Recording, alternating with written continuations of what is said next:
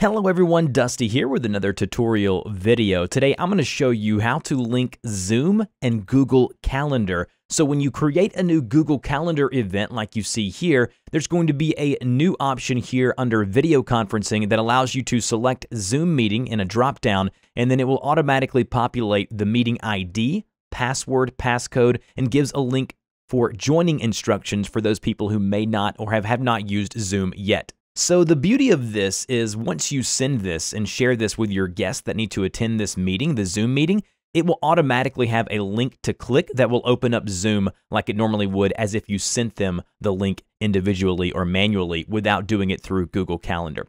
So the first thing that you need to do is go ahead and hop over to uh, the gsuite.google.com marketplace. I will link this in the description of this video so you know exactly where this is. When you get here, uh, you'll be on the home page here. Uh, again, some of the top rated ones here probably will show Zoom, but if it doesn't, go to search apps and then type in Zoom. Once you've typed in Zoom, the first one there that says Zoom for G Suite, click on that one. As you can see here, I already have it installed, but what you want to do is go ahead and click on that box there, open up Zoom for G Suite, and then what you're going to see here is the overview of what the app does, basically what I just showed you. And then you'll see a big blue install button right here. Click on that install button. You'll have to authorize also give G Suite the ability to connect to your Zoom account, so you will need to log into both your Gmail and your Zoom account uh, to authorize and to allow them to kind of work together. And then once you've authorized it and you've logged into your Gmail account, I want you to go ahead and hop on over to Google Calendar.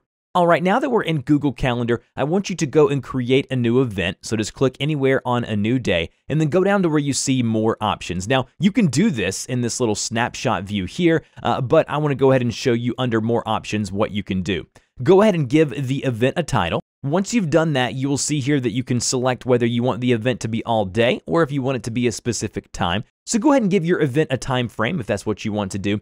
And then here under Add Video Conferencing, if you select the drop-down menu here, you'll see two options. You'll see Google Meet or you'll see Zoom Meeting. But remember, all of the Zoom parameters will still be in effect, so if you only have a free version of the account, those limitations are applied here as well. So go ahead and click on the Zoom meeting here in the drop-down menu. It will go ahead and make sure that you're logged in. Now, when you do this for the first time, it may ask you to log in to Zoom here, uh, where it says log in. Just click the login button, log into your Zoom account. Uh, again, it's made me do it once, but the other time it didn't, so I'm not sure on your end which one you'll go through. And then once you've done that and selected Zoom meeting and logged in, it will automatically populate the link here, the ID, and the password. And whenever I click on join Zoom meeting like I am here, it will redirect me to this page like it normally does. You're probably familiar with this, where it says open zoom.us. Basically, that's going to allow it to automatically open the Zoom app. And as you can see right here, waiting for the host to start this meeting. Again, all of that is going to happen automatically when your guest click on the join Zoom meeting. Now, this is a wonderful tool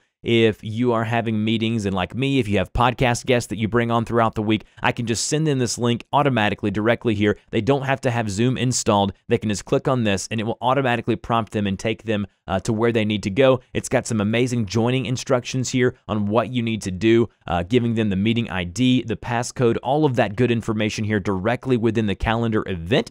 Uh, and if they're using another calendar uh, besides Google Calendar, it doesn't matter. This link will still show as long as they accept the event. They'll have this link here within Google Calendar. Now, if you want to know how to use Zoom from start to finish, I got a full user's guide. I'll link that down below as well. Thank you so much for watching this video. Don't forget to like, share, and subscribe, and we'll talk to you in the next video.